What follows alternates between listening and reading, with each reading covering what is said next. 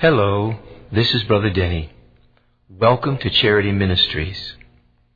Our desire is that your life would be blessed and changed by this message. This message is not copyrighted and is not to be bought or sold. You are welcome to make copies for your friends and neighbors. If you would like additional messages, please go to our website for a complete listing at www.charityministries.org.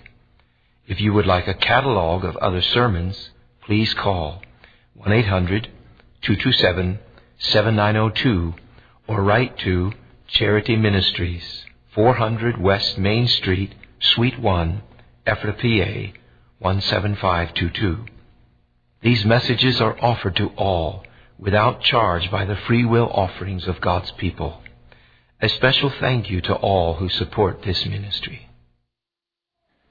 And I rejoice to stand before you this evening and share the Word of God.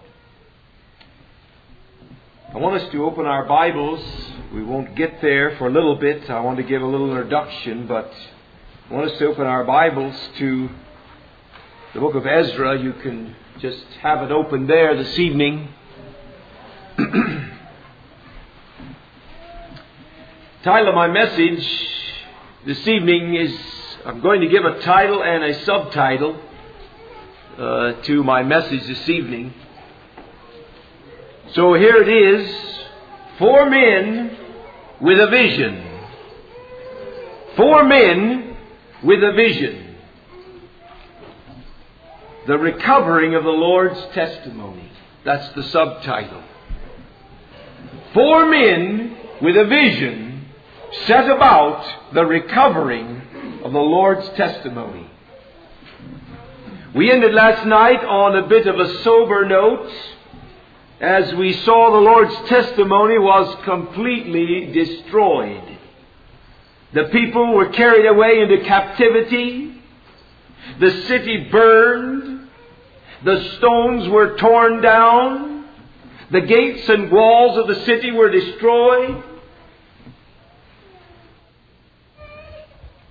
And the house of God is no more.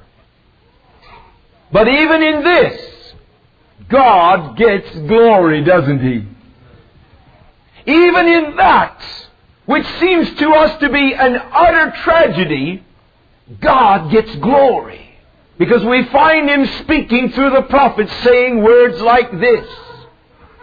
When the nations around you will look and see what has happened here, they will ask, What meaneth all this that God has done to His people? And the word will go out that God has done this to His people because of their transgressions. And therefore God again gets glory. Because He's just and He's holy and He's right. Even in this, God gets glory because it represents His justice and His judgment. He will not put up with evil. However, God is always busy about restoration and recovery. Have you heard Him? Have you sensed His Spirit? Have you heard His voice calling? God is always busy about restoration and recovery. We need to look first of all this evening at the way God restores. God begins His restoration and His recovery when He puts dreams and visions in the hearts of men and women.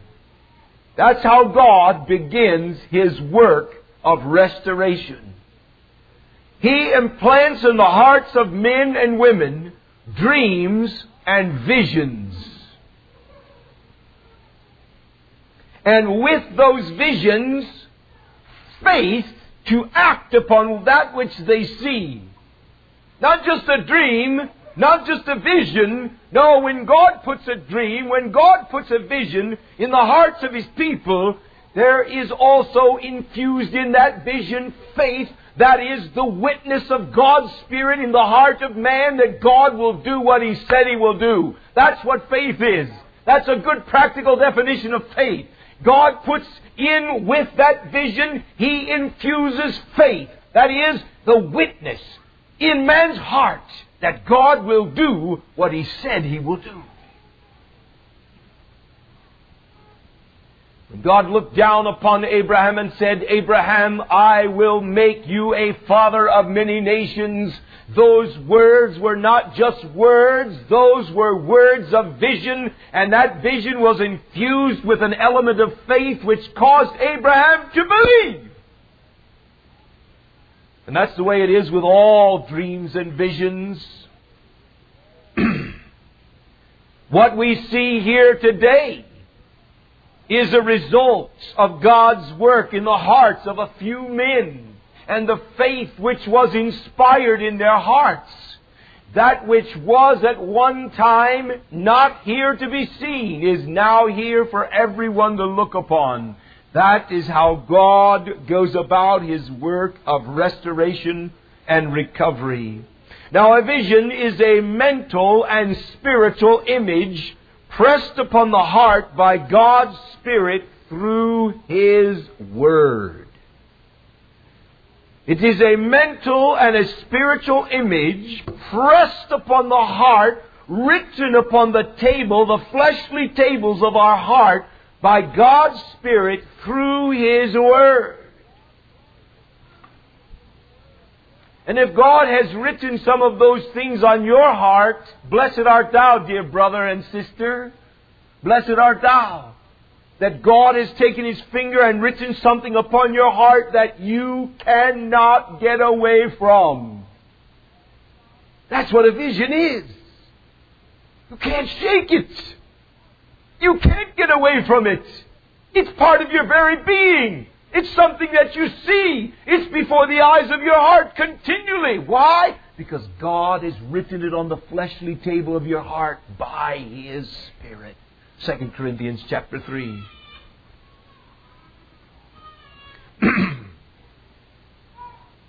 well, we're going to look at four men who had this very experience in their lives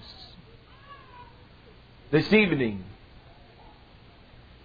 A vision is that which you see with the eyes of your heart. It is seeing what God sees and what God wants.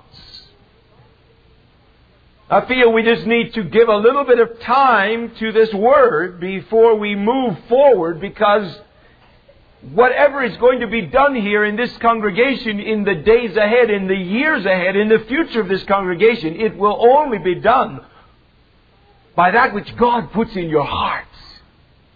That's it. You know, you're, you're not very old. You're just here a few years. But there's lots of young people and there's children all over this room. If this place stands 20 years from now and is a safe place for your children's children to raise their children, it'll only happen one way. If God, by His finger through His Spirit and His Word, writes upon the tables of your hearts and on the tables of the hearts of the young people that are in this room something beautiful, something glorious, something heavenly. That's the only way it'll happen.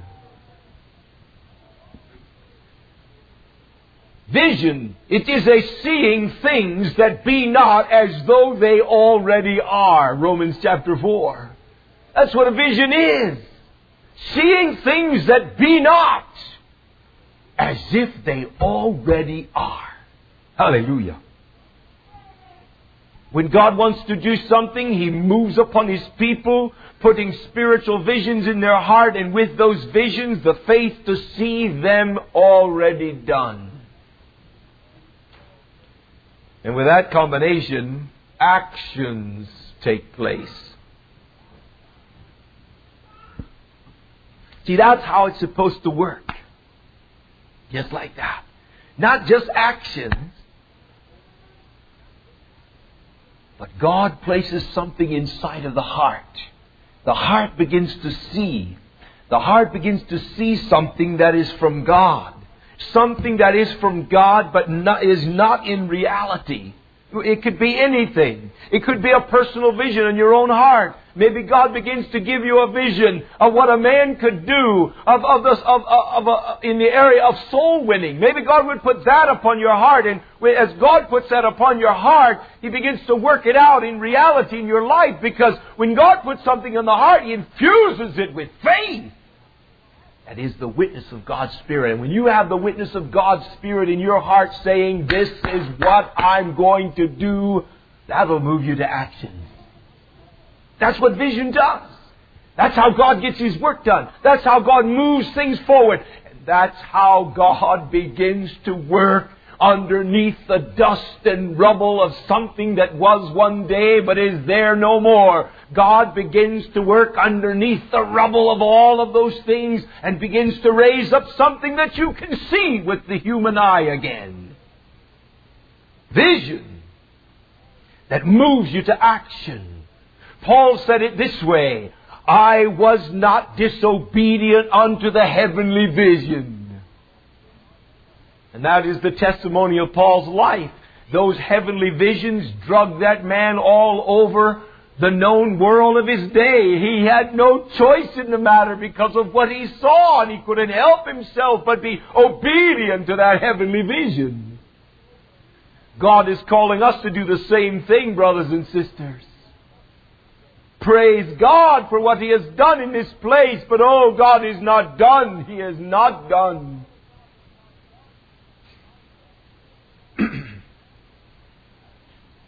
So let's look at the recovery of this house, this people, this city that last evening was rashed to the ground and the people were carried away into captivity and in, in a sense an absolute disgust to God. Let's look at the recovery of these people and this house and this city. Seventy years have passed. And God begins to stir. It's time to restore. It's time to rebuild. It's time to recover the Lord's testimony. And God begins to stir. And guess where He begins to stir? We read it last evening there at the end of Second Chronicles. He begins to stir in the heart of a heathen king. God even will do that to, re- to recover the testimony of the Lord. Begins to stir in the heart of a heathen king. We read his proclamation and his decree last night. 42,000 people responded to the king's proclamation. 42,000 Jews said, I'll go. Now that may sound like a lot of people, but if you realize how many people were there in the land of the Chaldeans in, in Babylon, if you realize how many people were there, it wasn't that many people.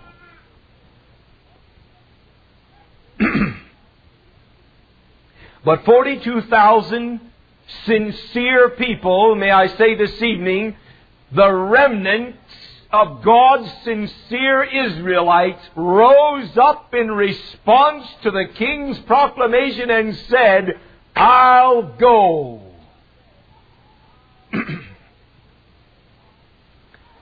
they had to be willing to make a 500 mile trip through lots of wilderness and lots of dangerous territory to get back to the city of Jerusalem. I want you just to use your imagination a little bit here this evening. Imagine what it looked like when they pulled into Jerusalem. Have you ever walked into a house that hasn't been lived in for 70 years?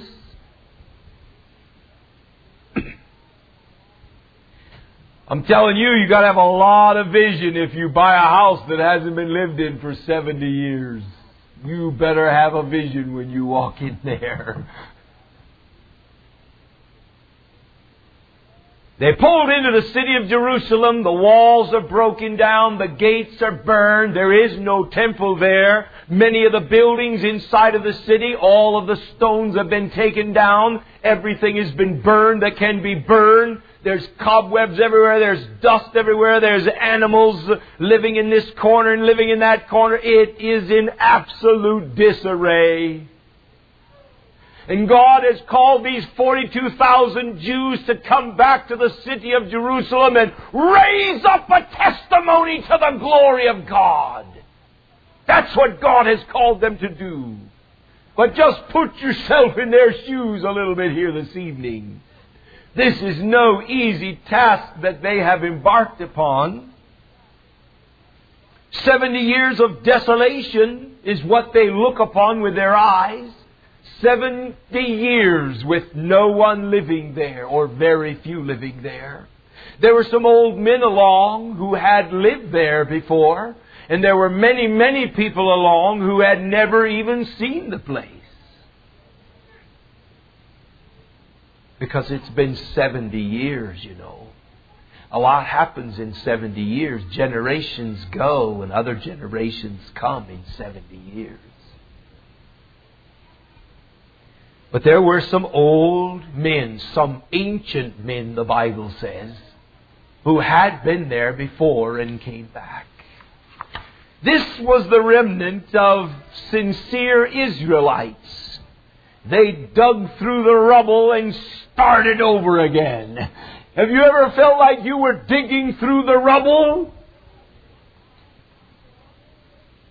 Somehow, by God's grace stirring inside the hearts of men and women, we find the grace to dig through the rubble and start all over again. Blessed be God. That's what they did. First, they builded an altar and began to offer sacrifices right out in the open. Then they laid the foundation of the temple with shoutings of praise and weepings at the same time. In fact, the Bible says you couldn't tell the difference.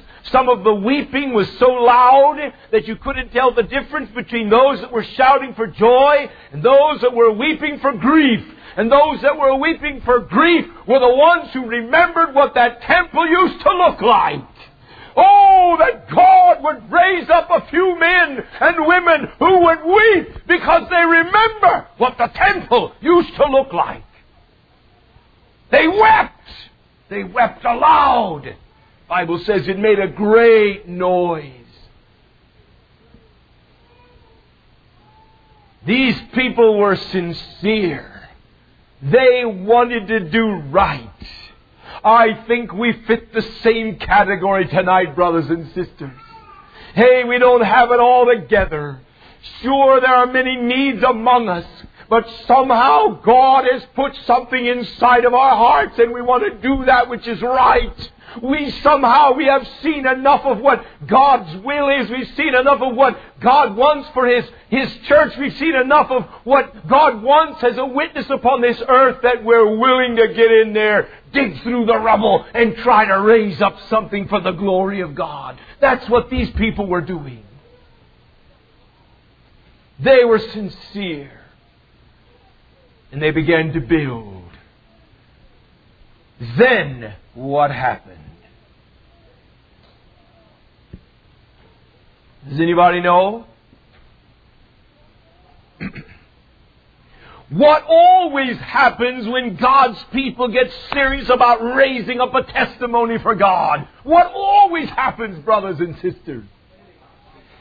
The enemy comes. Opposition from the enemy. First of all, it was the ecumenical movement. Hey, let us build with you. That was first. Secondly, they weakened their hands and frustrated their purposes. I'm giving you words out of the book of Ezra. They weakened their hands and frustrated their purposes. And lastly, they wrote accusations against them.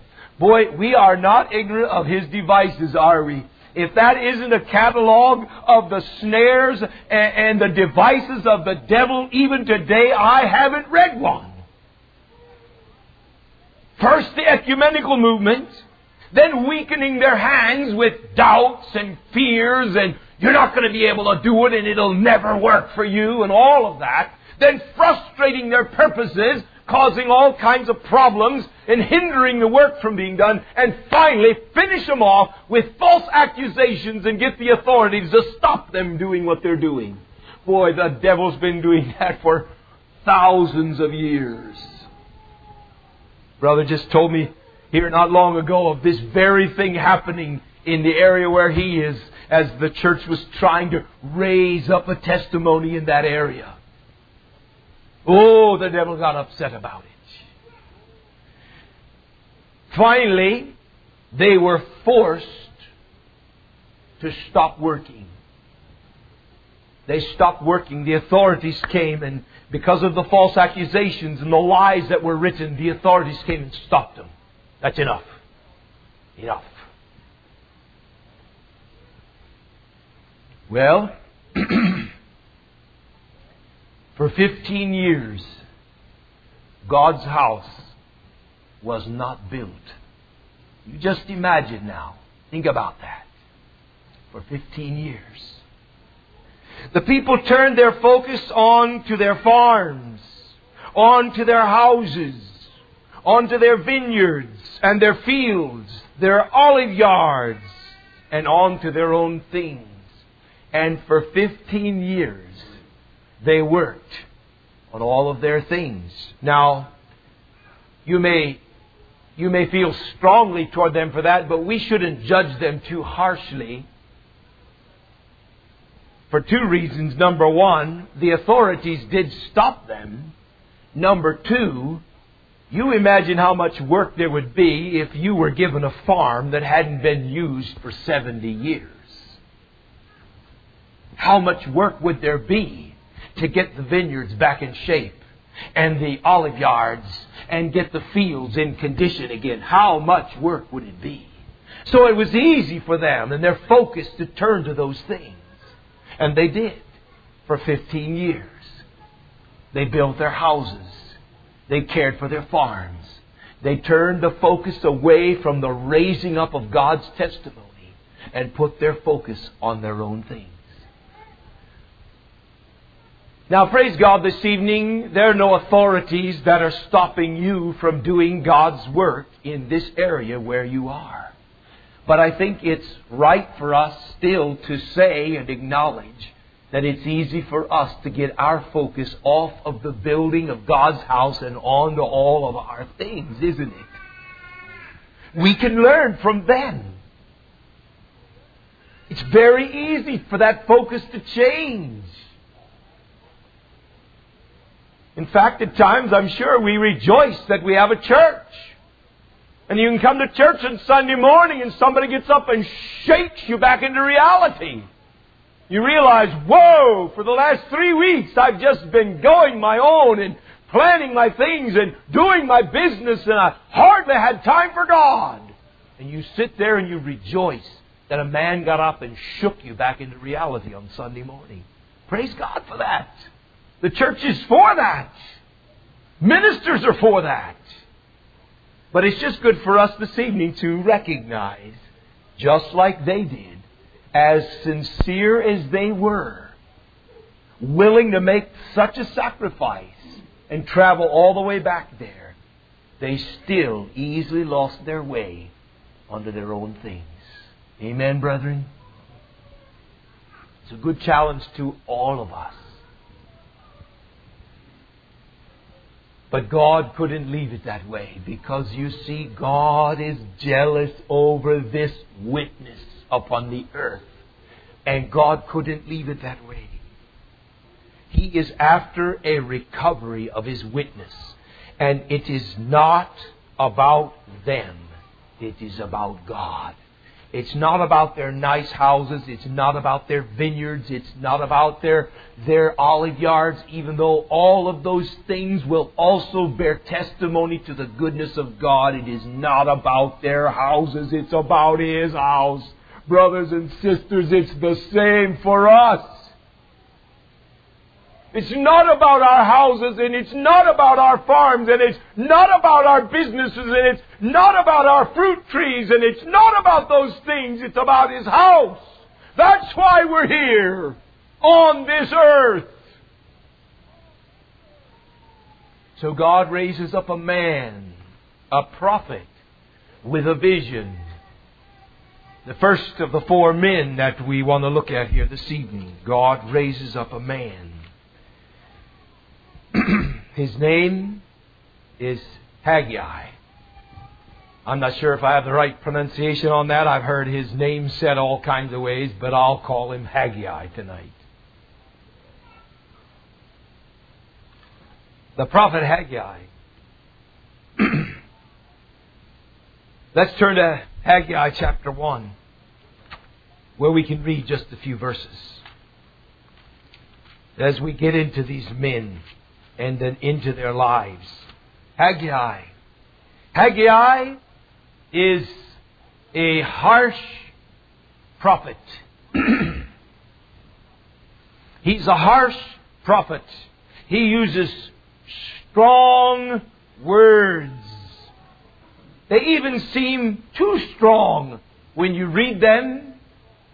And remember that the authorities stopped them from building God's house. The words seem too strong but they're not too strong. strong words of rebuke come from the prophet Haggai. and even God Himself, because He's concerned about His testimony, sends a drought upon the land to get the people's attention and remind them that it's not about you, but this is about my house to remind the people that you're not here upon this earth for you. You are here upon this earth for God. So God even gets involved with some strong measures to get the attention of the children of Israel. Why? Because of his testimony, brothers and sisters. Because of his testimony. Let's read some of the words of the prophet Haggai in chapter 1 and starting in verse 2. Hear his words. Thus speaketh the Lord of hosts, saying, This people say, The time is not come, the time that the Lord's house should be built. Time has not come I guess it's not for now. May it be for later. Then came the word of the Lord by Haggai the prophet, saying, Is it time for you, O ye, to dwell in your cieled houses, and this house lie waste? now therefore, thus saith the Lord of hosts, consider your ways strong words from Haggai the prophet. Is it time for you to live in your nice houses and my house lies waste? Consider your ways. Stop and think about what you're doing, said the prophet Haggai to the people of God. Then he reasons with them. Ye have sown much and bring in little. Ye eat, but ye have not enough. Ye drink, but ye are not filled with drink. Ye clothe you, but there is none warm. And he that earneth wages, earneth wages to put it into a bag with holes. Now that's quite a discouraging experience. If you could just imagine going to work, working all week long, putting your money in a bag and heading home on Friday night. And by the time you get home, two thirds of what you put in the bag falls out on the way home. And you only have one third by the time you get there. And that isn't one week, that's another week and another week and week after week after week. That was the experience that God was bringing to bear upon the people of God because their focus was on them, not on His testimony. Thus saith the Lord of hosts, again, consider your ways. Go up to the mountain and bring wood and build the house, and I will take pleasure in it, and I will be glorified, saith the Lord. See the heart of God in that verse? See his heart? Go and build my house, and I'll take pleasure in my house, and I will be glorified by my house. That's what is important. Oh, children of Israel, that's what is important. I am what is important. My house is what is important. My testimony. Ye look for much, and lo, it came to little. And when ye brought it home, I did blow upon it. Why, saith the Lord of hosts? Why? Because my mine house lieth that is waste, and ye run every man unto his own house. Therefore the heaven over you is stayed from dew, and the earth is stayed from fruit. And I called for a drought upon the land, and upon the mountains, upon the corn, and upon the new wine, and the oil, and upon that which the ground bringeth forth, and upon men, and upon cattle, and upon all the labor of thine hands.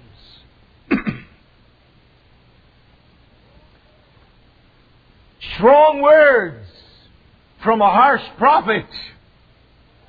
I mean, think about the words that he said. Men get thrown out of churches today for saying things like that. Strong words from the prophet Haggai. But his words were like a shock treatment to the children of Israel that waked them out of their sleep. God got through to their hearts through his strong words. And it was like a shock to them, and it awoke them out of their sleep. And the people began to build. They turned their focus away from all of their things and turned their focus again on building the house of God. The people began to build. And guess what happened? more persecutions, more troubles, more frustrations, more threats, more warnings came from the people in the land around them. Temptations to faint and quit. They were real temptations. To faint and just to quit.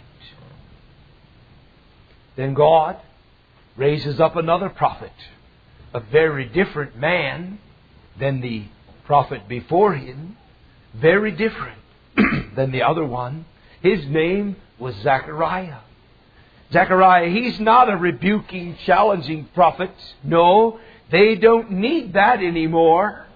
They heard the word of the Lord and responded to the strong words of Haggai and turned the focus toward the building of the house of God.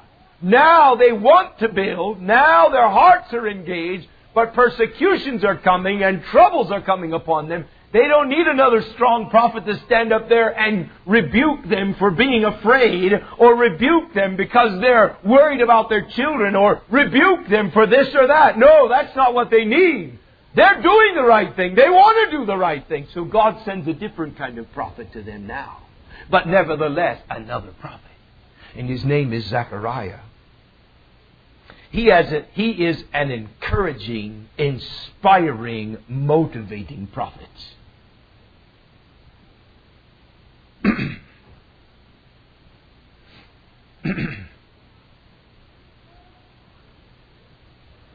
they don't need to hear strong words of rebuke now. They're there. They've picked up the trowel. They're ready to go. They've gathered their timbers out of the forest and they're ready to build. But persecutions come to them again, like they always do when you get busy about God's Word. Isn't that the way it is? Isn't it that way here? Sure it is.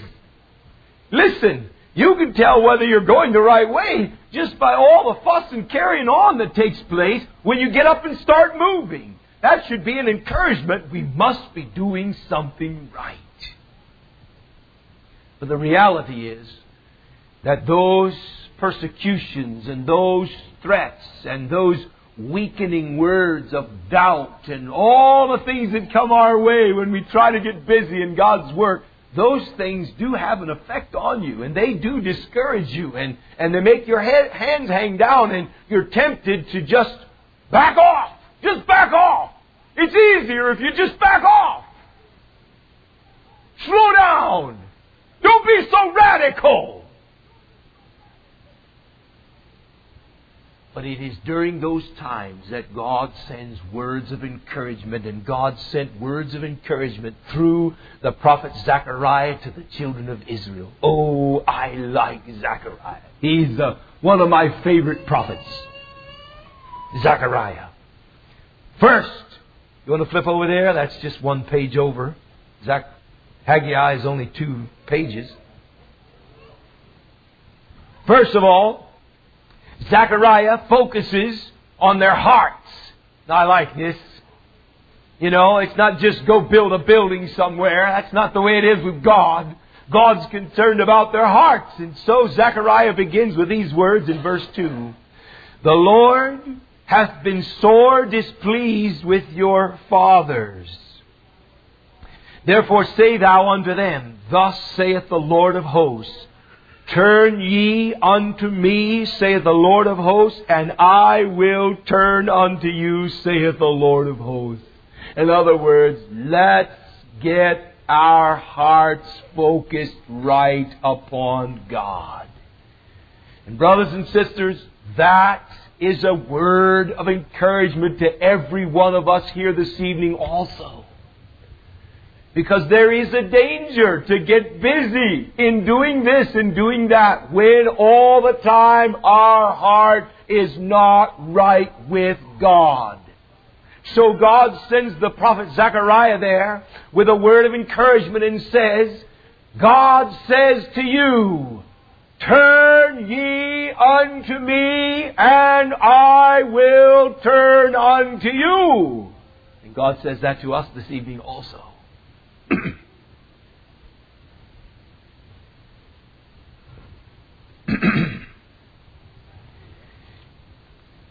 then he gives them words of vision. Now you have to look at the context here. These people are being persecuted. These people are being troubled. These people are filled with fear. They are living in enemy territory. You know, I mean, there are not very many of them. You know, it's a whole bunch of them and not very many of us. And here we are living in a city that is broken down and without walls. so God sends a word of encouragement. In chapter 1 of verse 13, look what God says through Zechariah. And the Lord answered the angel that talked with me with good words and comfortable words. Oh, I love that. You see that, Manny? Good words and comfortable words. Didn't beat them. Didn't scold them. Good words and comfortable words is what God is saying to these people who want to do what is right. They're not doing everything right. They're struggling to do right. They're probably even failing. They're fainting in their hearts. They're tempted to give up and quit again. But God knows their heart and He sends a prophet to give to them good words and comfortable words. Hallelujah. That's a good lesson to all of us ministers. Amen. Yeah, it, sometimes you need to skin the people. I agree with that. But listen, you got a bunch of people who want to go the right way. They need to be inspired and stirred on in what they're doing. That's what God did through Zechariah. So the angel that communed with me said unto me, Cry thou, prophesy thou, cry out. Go stand on the street corner, Zechariah, and prophesy. Beautiful, beautiful. Saying, Thus saith the Lord of hosts, I am jealous for Jerusalem and for Zion with a great jealousy. Hear the heart of God. Why is God jealous with a great jealousy over Jerusalem and over Zion? Because He's jealous for His name's sake. Tell the people, my heart is turned toward Jerusalem. I'm jealous for Jerusalem's sake. Tell the people. And I am very sore displeased with the heathen that are at ease. For I was but a little displeased, and they have helped forward the affliction. Therefore, thus saith the Lord, I am returned to Jerusalem with mercies. My house shall be built in it, saith the Lord of hosts, and a line shall be stretched forth upon Jerusalem. Look at those beautiful words. What is God saying? God is calling the things that be not as though they already are. He is saying, My house shall be built. Now listen, brothers and sisters, you have to see this thing. You have to see it in its reality. Look at it in a spiritual way. These are not just words coming out of some man's mouth that some people heard. These are the words of the God of heaven. These are the words coming out of the heart of God, from the throne of God, infused into the heart of a man, and breathed out into the people's hearts. How do you think it affected them? Man, it stirred them, it encouraged them, it, it, it, they got new strength inside their bones. That fear they had went dispelled into the, into the darkness and into the wilderness. Why? Because the word of the Lord came through the prophet Zechariah words of good words of comfort to the people. My house shall be built. You know what that means? That means all those words out there that they're saying don't mean a thing.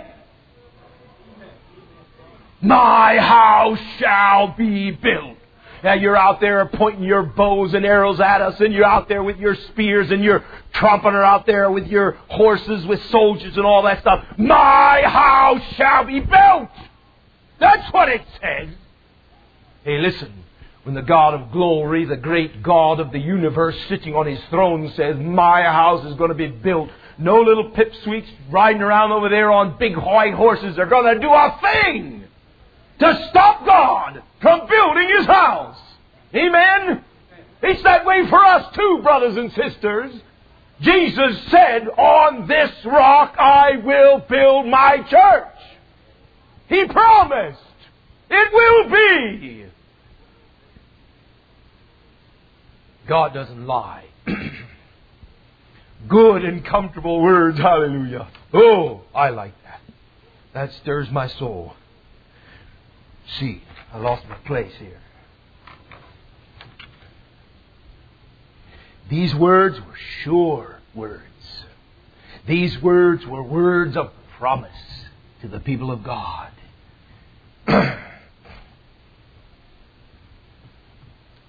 it's the same today, brothers and sisters. God will have His witness upon the earth. God will have His witness in this community where you live. God will have it. Nothing can stop us sincere ones who really want to go on with and do all of God's will. Nothing can stop us.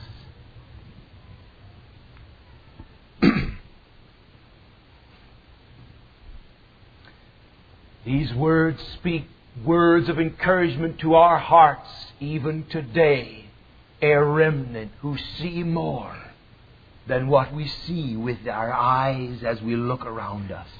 But somehow inside of our hearts, we just believe God wants to do more than what He's doing in present day Christianity.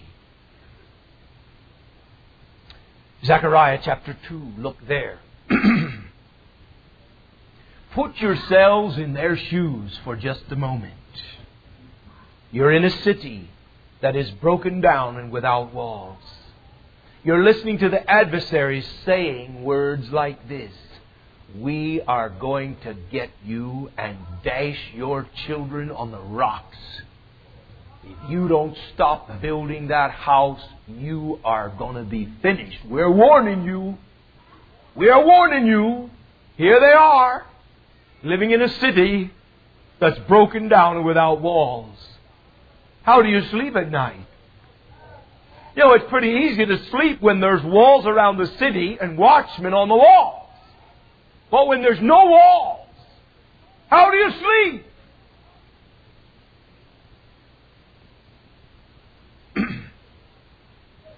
God speaks words of protection to His people through the prophet Zechariah in chapter 2, verse 1. I lifted up mine eyes again and looked, and behold, a man with a measuring line in his hand. Then said I, Whither goest thou? And he said unto me, To measure Jerusalem, to see what is the breadth thereof and what is the length thereof. That sounds like good things to me. I'm going to go measure the city. And behold, the angel that talked with me went forth, and another angel went out to meet him, and said unto him, Run, speak to this young man, saying, Jerusalem shall be in are secure. God spoke these words to the children of Israel. And you have to understand, this prophecy in Zechariah, it's 14 chapters long. It's one of the larger prophetic books. it took a few years to finish building the temple. And God just kept speaking through the prophet Zechariah. Words just like this. We can't look at them all this evening. It's two or three messages worth. But I'm just showing you how God used this man who had a clear vision on what God wanted to do, God used this man to infuse the people of God with the courage and the strength to get up again and keep on going in the midst of all kinds of trials and persecutions. Giving them words of promise. I will take care of you. I will strengthen you. I'll put a wall of fire around your city. You're worried about the city you're living in, O people of God, because the walls are broken down. Let me tell you something. I'll put a wall of fire around about you. You are the apple of my eye. He that toucheth you touches the apple of my eye. Relax! Don't fear! These are the kind of words that God spoke to the children of Israel. Why? Because he wanted his house to be built. Because he wanted a house to be built that would represent his holy name upon this earth. Dear brothers and sisters, God has not changed. God wants his house to be built. That will be a holy representation of himself upon this earth. And I'm telling you, God will run to the aid of any people who desire such things as that, though they stumble along sometimes and don't know what they're doing. God will run to their aid because He's jealous. Let's look at leadership for a moment. There was a man in Jerusalem. His name was Joshua. He was the high priest in Jerusalem. now put yourself in his shoes for a little bit before you get too tough on him. You know, he's a leader. He is the leader. he ought to have his act together. He's the high priest. But put yourself in his shoes for a moment. He's been in captivity all of his life, probably. he probably never saw Jerusalem. He never had a temple to go to. He never had any other priests who could train him in how the temple is supposed to be operated. He knows none of these things. And here he is in Jerusalem, and a task has been given to him. You're the high priest. We're building this house, and you're going to make sure everything runs the way it's supposed to run. And this high priest named Joshua is feeling absolutely inadequate. You ever feel that way?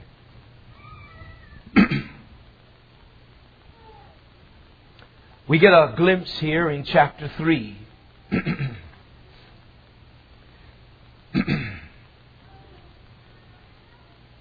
into the deep, inside look into the deep feelings of the heart of a leader.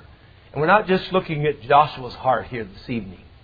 There's some other hearts that feel the same way. I know that I can relate to Joshua in this chapter. And he showed me Joshua, the high priest, standing before the angel of the Lord, and Satan standing at his right hand to resist him. Now I want you to note how Satan is resisting him. This is a good lesson in spirit, personal spiritual warfare that most people have never learned. Satan standing at his right hand to resist him. And the Lord said unto Satan, The Lord rebuke thee, O Satan, even the Lord that hath chosen Jerusalem rebuke thee. Is not this a brand plucked out of the fire? Hallelujah. yes, Lord. Now Joshua was clothed with filthy garments and stood before the angel. This is how he feels. That's how he feels. What can I do? What good am I? I don't know what I'm doing. What am I doing in this place? How am I going to do this? He's standing there with filthy garments. You ever feel that way? You ever feel that way when it's time to get up and preach? Hmm? The Lord rebuke thee, O Satan, you condemning, accusing spirit. The Lord rebuke thee. And he answered and spake, verse 4. And he answered and spake unto those that stood before him, saying, Take away the filthy garments from him. And unto him he said, Behold, I have caused thine iniquity to pass from thee, and I will clothe thee with change of raiment. And I said, Let them set a fair mitre upon his head. So they set a fair mitre upon his head, and clothed him with garments. And the angel of the Lord stood by. And the angel of the Lord protested unto Joshua, saying, Thus saith the Lord of hosts, If thou wilt walk in my ways, and if thou wilt keep my charge, then thou shalt also judge my house, and shalt also keep my courts, and I will give thee places to walk among these that stand by. Good words to the leadership. Good words. Good words. Oh, how many times the enemy stands by as an accusing spirit and blasts us and tells us how no count we are. But let me tell you something. That's not what God says. That's not what God says. There was another man in leadership there in that place. His name was Zerubbabel. He was the king. If there was a king, he was the ruler in the city. He was also feeling exactly the same way. What can I do? How can I be the king? I've never seen what a king acts like. How can I be the king? And God said to him in verse 6 of chapter 4, Then he answered and spake unto me, saying, This is the word of the Lord unto Zerubbabel, saying, Not by might, nor by power, but by my Spirit, saith the Lord of hosts. Who art thou, O great mountain, before Zerubbabel? Thou shalt become a plain, and he shall bring forth the headstone thereof with shoutings, crying, Grace, grace unto it. Isn't that beautiful? Here's a man who's a leader, called to be a king, doesn't know what to do. Nobody ever showed him what to do. Ever feel that way, brethren? How am I going to do what needs to be done? How can I say it the way it needs to be said? How can I make this correction that needs to be done? How can I guide the people of God? How can I do it the right way? No one ever showed me. I wasn't trained. I don't know any of these things. And God says to you, just like He said to Zerubbabel, Oh, Zerubbabel, it's not by might, that is by human abilities, nor by power, that is a man's human wisdom, but it is by my Spirit, saith the Lord. And if you will be filled with my Spirit, saith the Lord, you will shout grace, grace as you finish your task of building the house of God in your generation. It's all done, all said and done. You look back and shout, Grace! Grace! Nothing of me! All of Him. Amen? Good words and comfortable words this evening to us who desire to go the right way, who want to see the Lord's testimony raised up upon the earth. It's good words and comfortable words to us through the prophet Zechariah. You ever have those accusing spirits beating you? They do, you know. well, there are 14 chapters here in the book of Zechariah with far reaching prophetic meaning in them.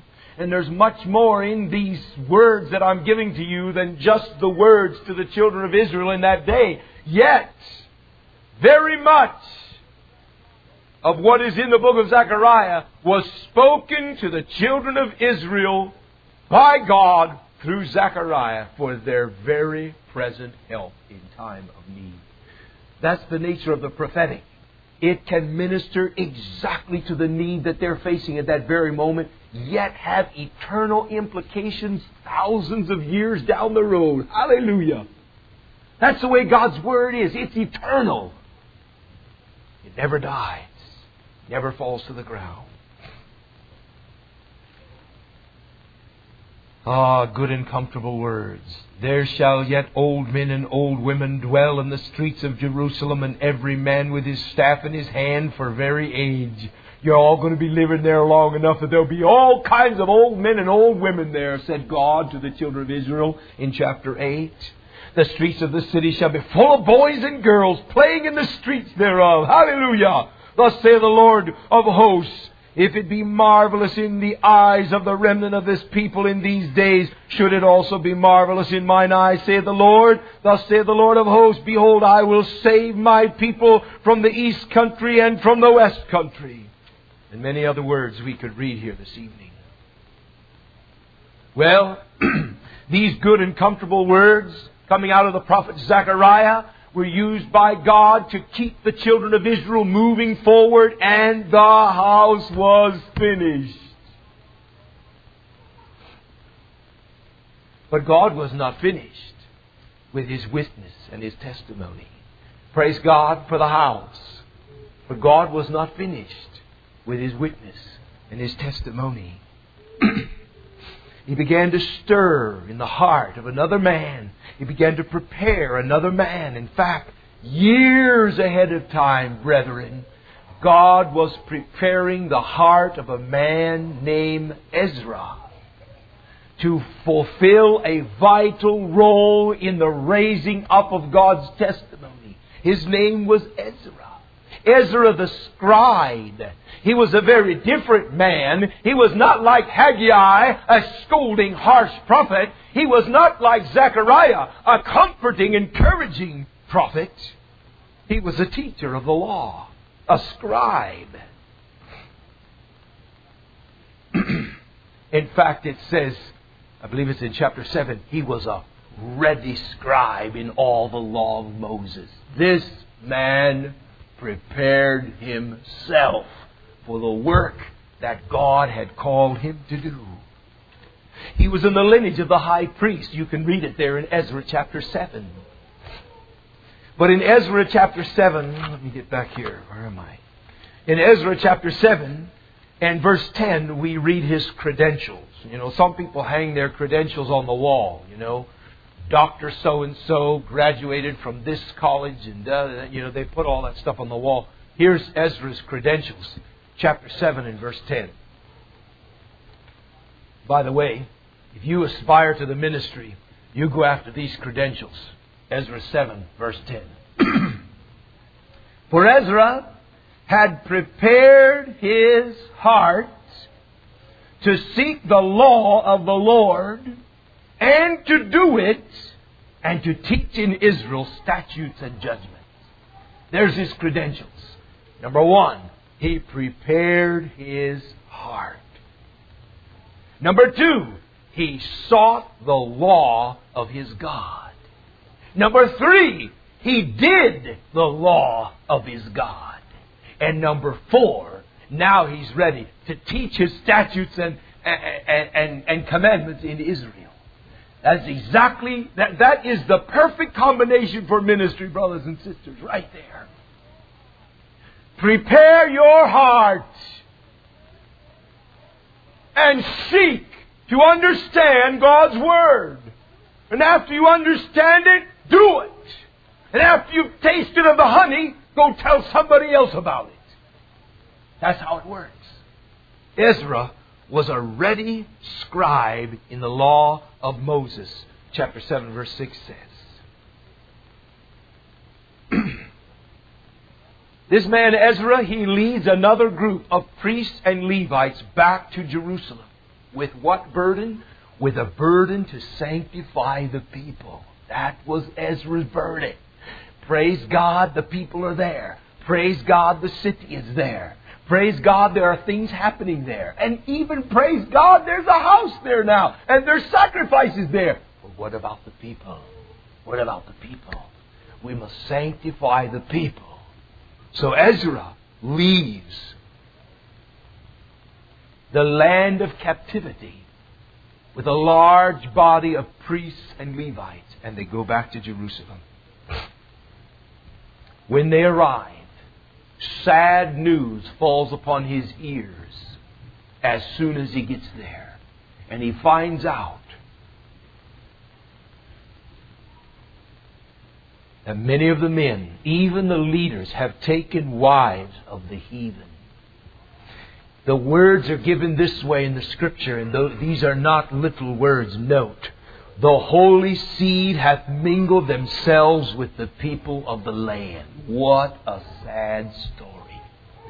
In light of the testimony of God, the holy seed hath mingled himself with the people of the land. What a definition of modern day American Christianity. Ezra's response is one of the most awesome responses that you'll find in the Bible. Very strong response. Very broken. Very intercessory. And I like that. You know, it was strong, no doubt. He was broken, but he was intercessory. That was the motive of his heart. He was intercessory.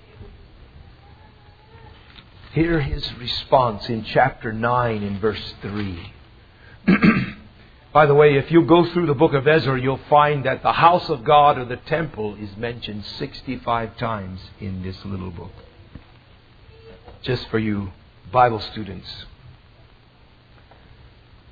Chapter 9 and verse 3, let's read the response of this man who has a vision for God's witness upon the earth. And when I heard this thing, I rent my garment and my mantle and plucked off the hair of my head and of my beard and sat down astonished. Children, do you know what it feels like to pull your hair out? Hmm? You brethren that have a beard, you know how it feels like, you know, when little, little baby Johnny or Susie is in your arm and you're walking somewhere and they get enamored with, uh, you know, the hair on your face and they put their little fingers in there and yank. What's it feel like? I mean, you go like this real fast. It hurts. This man pulled the hair out of his head and yanked out the hair out of his beard. I don't think he yanked it all out, but I think that the, the picture there, and the people were watching him, many of the people were watching him. He just grabbed his head like this and yanked his hair out and threw it on the ground and grabbed his garment and ripped the thing in two and grabbed his beard and pulled the hair out in anguish of soul. Why? Because he was jealous for the testimony of his God. That's why. That's the only motivation that would make a man do that. He was jealous for his God. And he sat down astonished or astonied. Then were assembled unto me every one that trembled at the words of God. Brother, trembled at the words of the God of Israel because of the transgression of those that had been carried away. And I sat astonished until the evening sacrifice. He just sat there all day long. Didn't say a word. And at the evening sacrifice I arose up from my heaviness and having rent my garment and my mantle, I fell upon my knees and spread out my hands to the Lord my God and said, O my God, I am ashamed and blush to lift up my face to thee, my God, for our iniquities are increased over our head, and our trespass is grown up into the heavens. Notice his intercessory heart there. He's not talking to God about what they did. It is our iniquity and our transgression, and I am ashamed to lift up my face to thee. The testimony is not complete yet. We've got to straighten some things out here. It's not enough to have a nice building sitting somewhere that people can drive by and say, Oh, did you see what those people put up? Look at the building those people put up. Man, isn't that something? It's not enough to be able to put up a building that people can see. What about the people in it? The people in it must be sanctified. The holy seed must be separate from the world around them. It must be that way. God has not changed. That wasn't a man responding to those things. That was God working inside of that man. You see the heart of God inside of that Ezra in his response to the evil that he saw there. God has not changed. He's still the same. He's jealous over the sanctity of his people who are supposed to represent his holy name.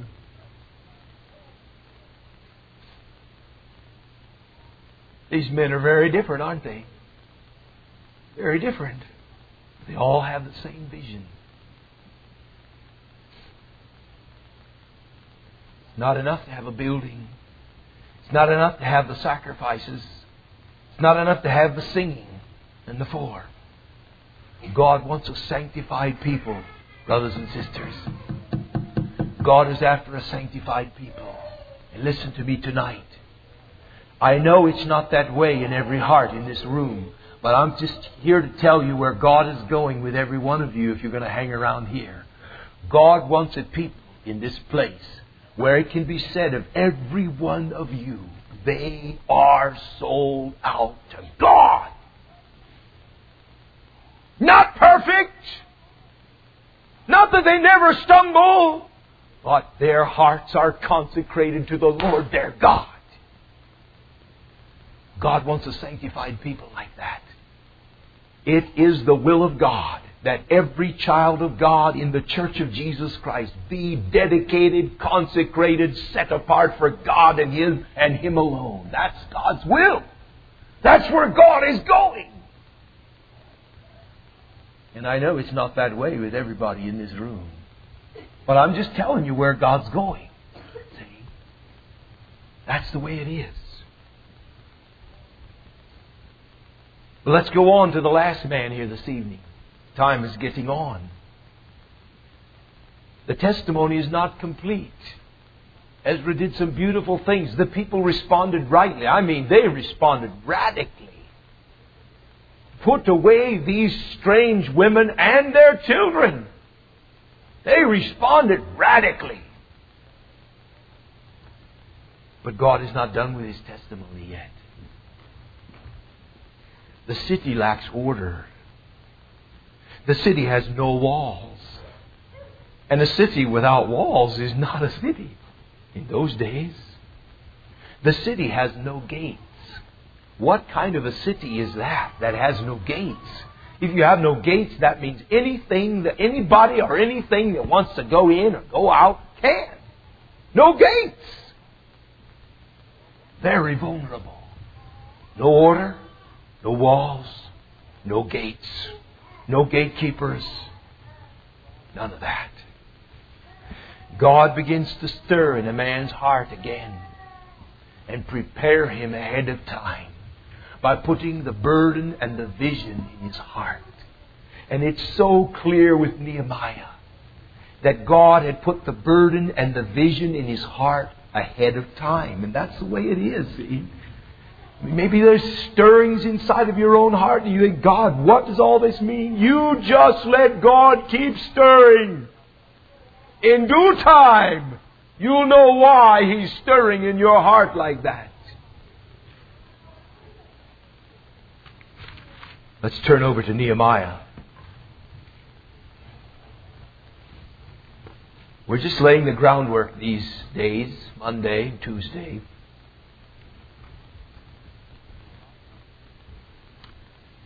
God begins to stir in a man's heart. His name is Nehemiah. He's a serious man. He's not a prophet. He's not a priest. He's not a scribe. He's a ruler, a leader, an organizer. That's what Nehemiah is. He's one who can mobilize people, organize people, and make things happen. God needs those too. Not just prophets and priests and teachers and scribes but men with leadership ability. and they don't have to be a prophet, by the way. They don't have to be a prophet to be one of those leaders.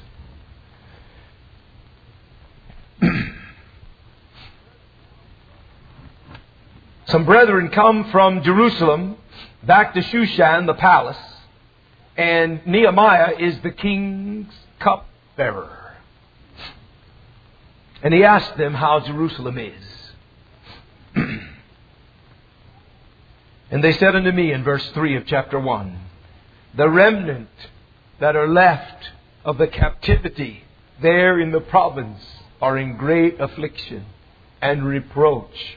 The wall of Jerusalem also is broken down, and the gates thereof are burned with fire. And it came to pass when I heard these words that I sat down and wept and mourned certain days and fasted and prayed before the God of heaven. Look at his response. You think that was just out of nowhere? No. The vision was already in his heart. The vision for God and for God's testimony, God's witness upon the earth, it was already in his heart. And when he heard those words, it overcame him. The burden landed upon him. He couldn't bear it. And said, I beseech thee, O Lord God of heaven, the great and terrible God that keepeth covenant and mercy for them that love him and observe his commandments, let thine ears now be attentive and thine eyes open, that thou mayest hear the prayer of thy servant, which I pray before thee now day and night for the children of Israel, thy servants, and confess the sins of the children of Israel, which we have sinned against thee. Both I and my father's house have sinned. And he goes on in his intercessory prayer. And as near as I can tell, as I've studied the chronology of these books, and it's a, it's a bit difficult to keep up with where things are, you know, but as near as I can tell it, Nehemiah prayed for 120 days before he went before the king. But if you knew who the king was, you'd know why he prayed 120 days. It's the same king who married Queen Esther, where everybody was afraid because if he just, if he don't lift up his scepter eh, eh, as a way of pleasing acceptance when you're around, you're dead. You're just dead. That's all there is to it. So he prayed for 120 days and went before the king.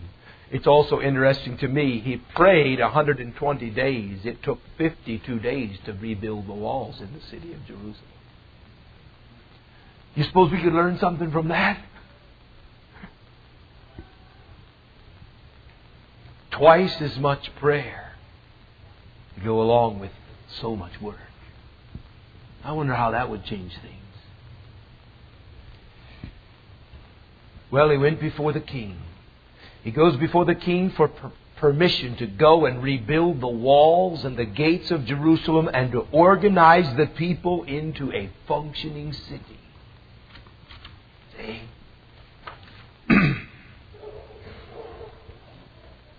he also, with a group of men and people, traveled to Jerusalem. He arrives there. He doesn't tell them what he's doing at first. Greets everyone. Goes to bed that night.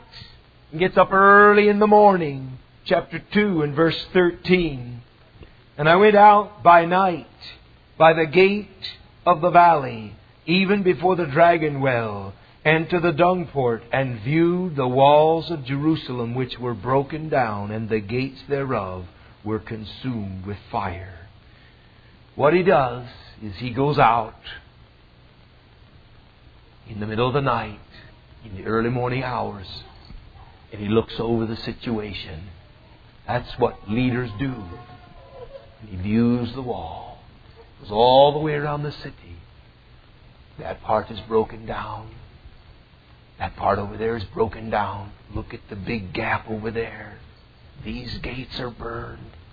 And he evaluates the whole situation. And oh, brothers and sisters, if you could just get a little bit of a glimpse, if you could see those holes in the walls of the city of Jerusalem as holes in the lives of God's people.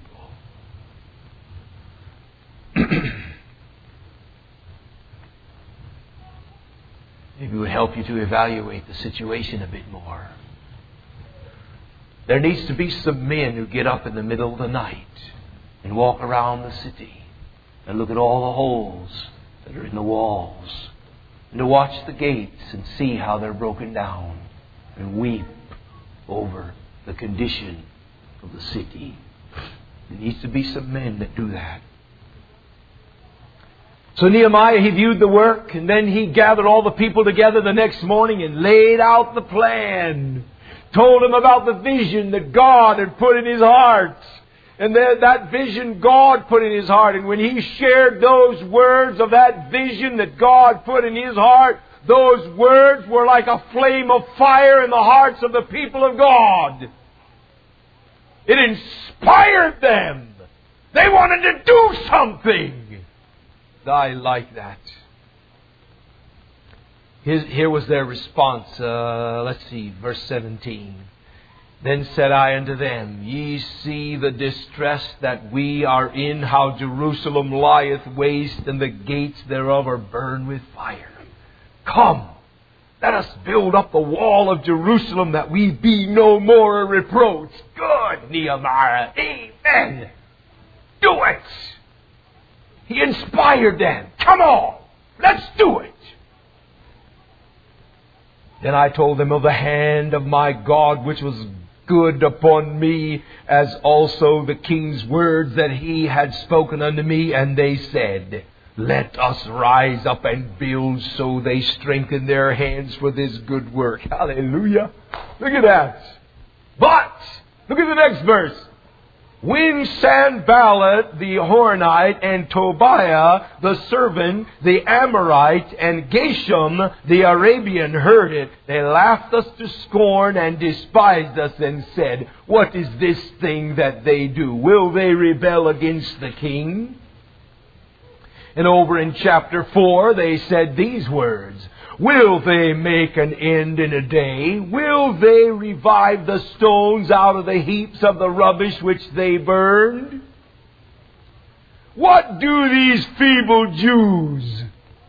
Will they revive the stones out of the rubble? Yes, they will, Sanballat and Tobiah. Yes, they will. And I'll tell you why they will. They will revive those stones out of the rubble because there is a living God in heaven who is looking down upon those stones and those stones will come up out of the rubble and become a wall again and new gates will be built and that city will stand as a testimony to the glory of God. But as soon as they started to build, guess what happened? More trouble. more persecution. More accusations. More threats. And more ecumenical movement. After they got the whole thing built, and Sanballat and Tobiah looked on and said, Oh, they did it! They did it! Hmm. We have to change our tactics. Hey! Let's be brothers! Let's be brothers! We'll work together at this thing. You want to have a city? You want to have order here? Let's be brothers. Let's work together at this thing. And Nehemiah knew what to do because he wasn't just a leader, he was a godly leader who had a vision for the glory of God's testimony. And he said, We have nothing to do with you fellas. Nothing at all. Nothing.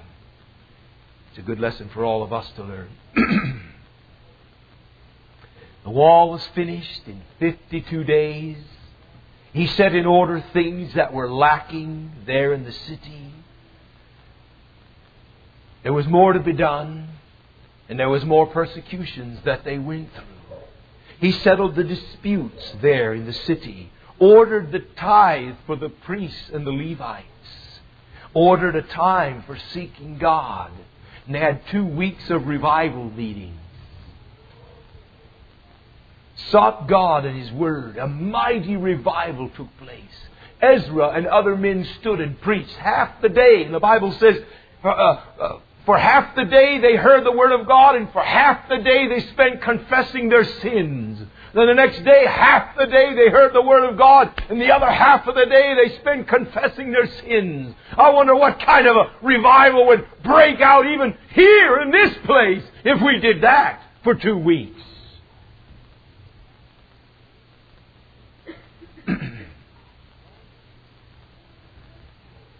Four men with a vision to recover the Lord's testimony. What can we learn from it, brothers and sisters? What can we learn this evening? Oh, yes, I'm sure we've been inspired this evening to just look at that whole thing and realize how much God was in it and how many relating points there are to what we are even doing in this place today. It's inspiring. What can we learn from it? A few things very quickly. Number one, God uses men. God uses men. And I see a few of them around here this evening. God uses men. But not just any man. Men in whom beats a vision for God and His testimony upon the earth. Those are the men that God uses. Number two, God uses different men. We're not all the same. We don't want to be all the same. God uses different men. And it's okay if we're not all the same. And we need to give each other the room to not be the same. One brother may skin you with his words, and another one comes along and encourages and comforts you. Don't look at the one and say, he's wrong and he's right. God uses different men in different ways. Sometimes we need a good skinning, amen? Amen? I know, I know. It's no fun to get skinned, I agree. But sometimes we need a good skinning. Number three, He will have His witness. Can you see the persistent perseverance of the God of heaven? He will have His testimony. He will. Not a matter of whether it will be, it's a matter of who will he use. But he will have it. And I know you're down the road a few years, but there's a couple sitting here from a little church that's just getting on their feet. And I tell you what, this is like fire in their bones tonight. Because they're really facing it. Those little churches, they really face it. Are we going to make it or not? You know, this is like fire in their bones tonight. He will have his testimony.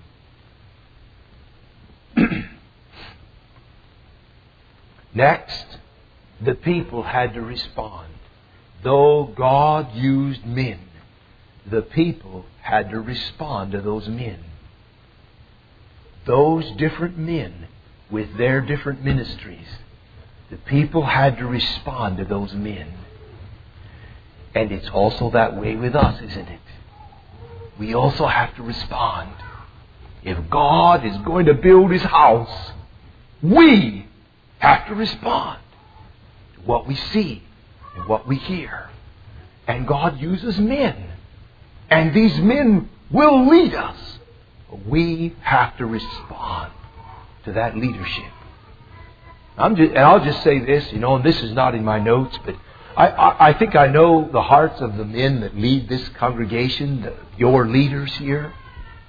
They're not perfect, I'm sure about that, because I know them. But, dear brothers and sisters, if you've got a bunch of men who have a heart like this, then get behind them and support them with all you've got. People search high and low the whole country around to find one of them like that. If you have three or four of them, you better take care of them. That's extra.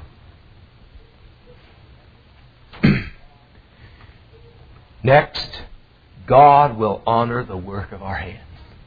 Even though we stumble around and we make mistakes and sometimes we don't know what we're doing and sometimes, you know, we, we hurt somebody as we, you know, as we try, you know, and we're not seasoned ministers and we haven't been doing this for 20 years, you know, but God will honor the work of our hands because of the motive of our heart. He will honor it.